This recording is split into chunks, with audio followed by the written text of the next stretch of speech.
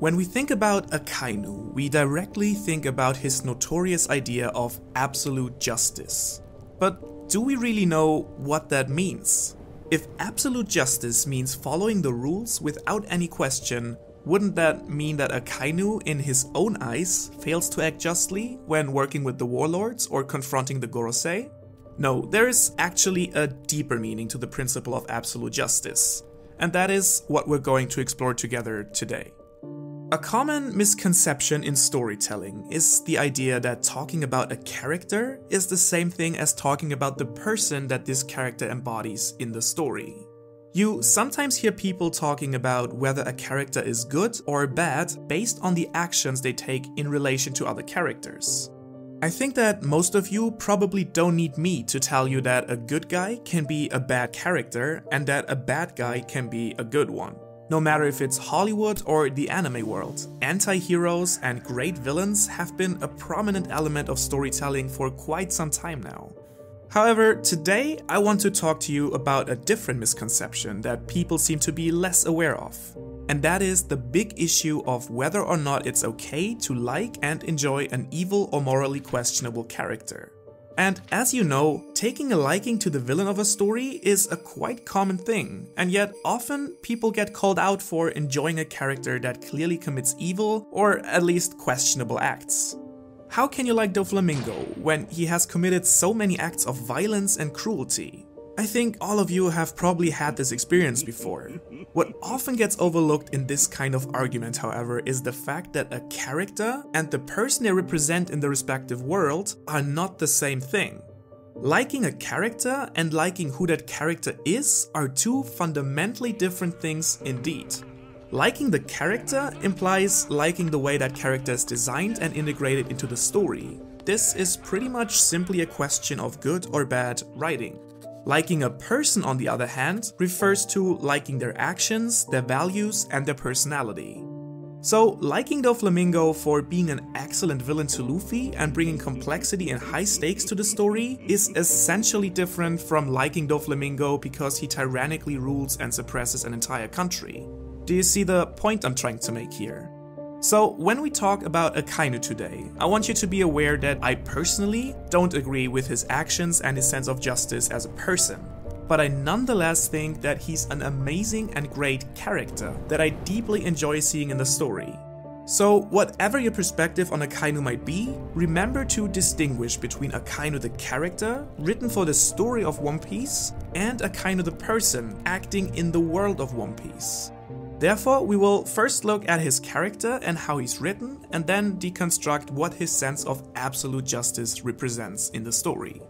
After all, being one of the central antagonists of the series, Sakazuki doesn't have a purely evil ideal. Oda simply takes his desire to bring down all the evil of the world and gives it a dark twist in perspective. This is pretty much the same principle he uses with Blackbeard, who, like Luffy, follows his ideal of dreams or like Doflamingo, who like Whitebeard follows the ideal of family. According to Oda, the ideal you hold might be good and just, but it's the practical execution of this ideal that truly determines who you are as a person. So let's find out what Akainu actually means when he talks about absolute justice. Before we get into the steaming volcano of personality that is Sakazuki Akainu though, a very quick update on our small challenge. Once again, you guys have reached the goal I set you and gotten 3500 likes on Aokiji's video. So this time, I will raise the bar significantly and challenge you to reach 4000 likes in the very first 24 hours this video is online. And the next Admiral will be out within the week. But now, without any further ado, buckle up, it's about to get hot. Sakazuki Akainu is a muscular and broadly built man that with over 3 meters in height is taller than any of the Straw Hats, including even Jinbei. His design was based on the Japanese actor Bunta Sugawara, with facial features strikingly similar to his anime counterpart. In one of his movies, we can even see him smoking a cigar and wearing the exact red suit with the pink rose that we know all too well from Akainu. Additionally, Sakazuki also has a large tattoo in the shape of a flower and flame pattern across his left chest and shoulder, as well as a small tattoo of a sword on his right arm that might hint at the secret sword unit inside the Marines. Naturally, Akainu is also a physically strong character that also wields the powerful Magma Logia Devil Fruit. In fact, he is so strong that Oda once even stated in an interview that if Akainu were to become the protagonist, he would be able to end One Piece within a single year. Let that sink in for a second. Born in the North Blue, even as a child, Sakazuki had a grim demeanor and a sense of justice. He joined the Marines around the same time as his fellow Admiral Borsalino and quickly rose in their ranks due to his notorious strength. A decisive moment in his past was the incident of Ohara that heavily shaped his idea of justice and set up the contrasting relationship with his fellow Admiral Aokiji. During the war at Marineford, he was the decisive factor to win the war in favor of the Marines. And later, after being victorious over Aokiji in their duel, he rose to the position of Fleet Admiral. Putting morality and ethics aside here for a second, from a purely militaristic perspective, his appointment made perfect sense. Being the one to ensure Whitebeard's death and carrying out Ace's execution, he easily outperformed his two fellow admirals and even the former fleet admiral Sengoku during the war. In the context of these events, Oda depicts Akainu as a hardline and almost extremist military leader that in many ways hints at the strict and brutal militaristic history of Japan that is filled with warlords, shoguns, and generals. These were notoriously known for following the values of their country, but in the process overlooking and stepping on the people that they were actually meant to protect in the first place. Outside of his duties, Akainu shows little interest in anything besides conflict and war. Despite having a burning obsession to fulfill his desire to eradicate all evil and end the pirate era, Sakazuki is also a surprisingly level-headed character who knows how to constrain himself and not act impulsively.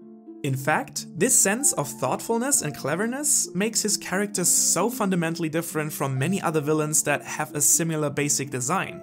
Based on his appearance and his extreme beliefs, one would expect Akainu to be an erratic and impulsive monster that goes berserk whenever something goes against his will or hurts his pride. But just the opposite is the case. Akainu is surprisingly determined on thinking things through. Not in the way that Aokiji does, of course, determining who a person truly is and what a specific situation calls for. Akainu much rather determines how to get his desired result in the most efficient and effective way possible. We can see this for instance when he manipulates Squardo to attack Whitebeard, or when he ruthlessly destroys a ship full of innocents on Ohara to ensure the success of his mission.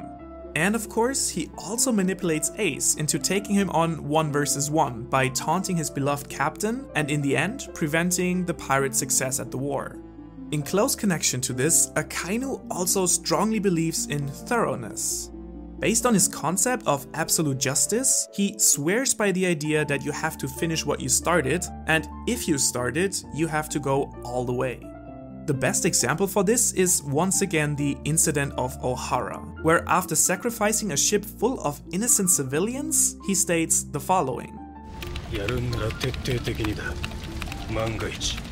あの船に学者が一人でも潜んでいたら今回の犠牲の全てが無駄になる悪は可能性から根絶やしにせねばならん In other words, Akainu justifies his evil actions with the necessity for thoroughness in the context of working for the greater good.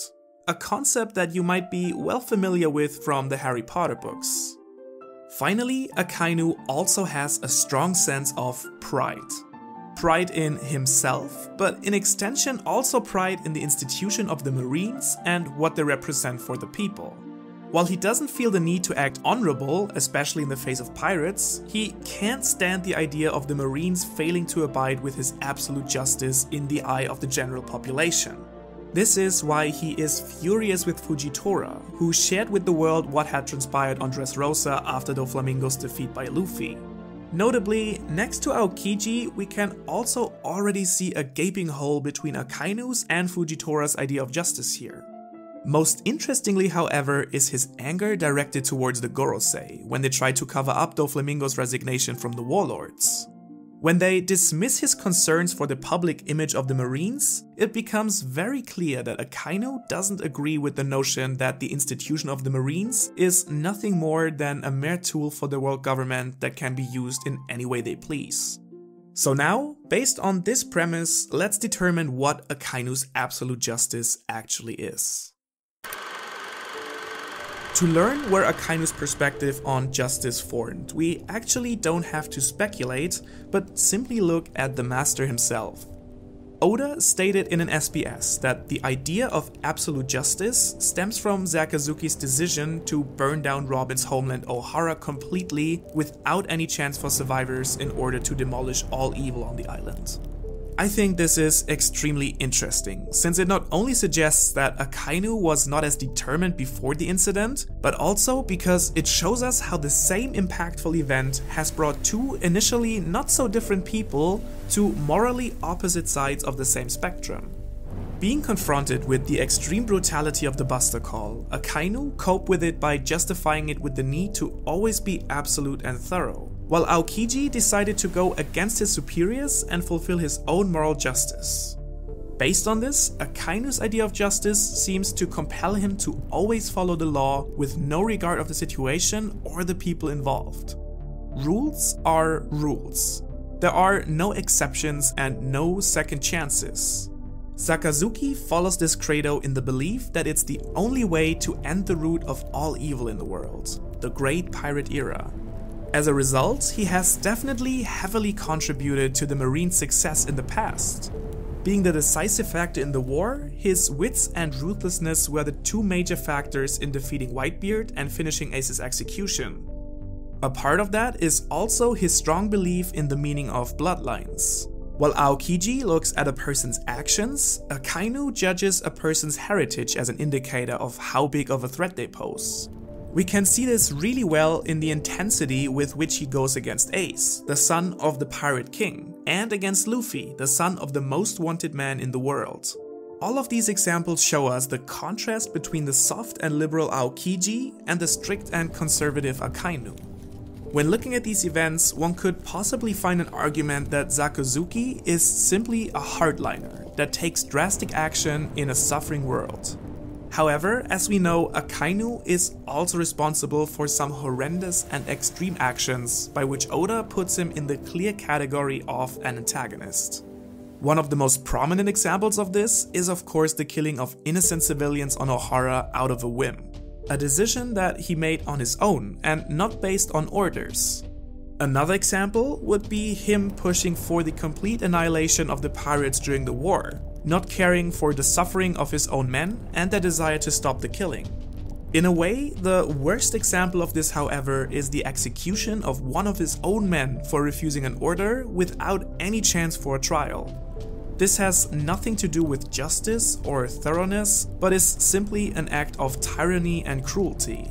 We can see this behavior again when Koby dares to stand up to him during the war, his sentence barely being stopped by Shanks.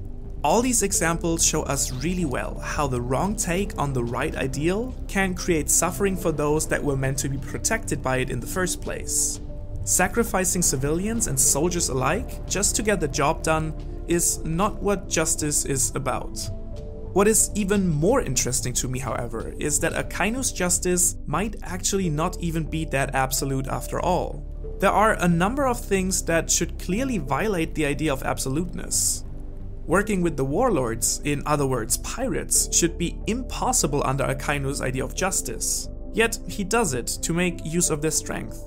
Ignoring Wano and not moving against the Yonko should be a no-go when you want to be thorough. But he decides against it, well knowing that his forces might not be sufficient. Arguing with Fujitora that cover-ups are necessary, while the existence of cover-ups themselves should be impossible under his vision letting Aokiji go after the duel out of respect while brutally executing a random foot soldier. And last but not least, opposing the Gorosei and world nobles while at the same time supporting their system of slavery, racism, exploitation, and undisputed dominance of the weak. How can you justify these actions when your ideal is the absolute nature of rules? The answer to that is as surprising as it is simple. Akainu's justice claims to be absolute in regard to the rules of the world, but in reality, it is based on his own set of ideals and values. So, in the end, he and Aokiji both ended up following their own sense of justice, despite taking opposite paths after the destruction of Ohara. Both want to achieve justice at heart and are opposed to the actions of the world government, and yet they are as different as it gets in their execution of this ideal. What all of this leaves us with now is the hidden moral need that Oda has given Akainu for his future conflict with Luffy.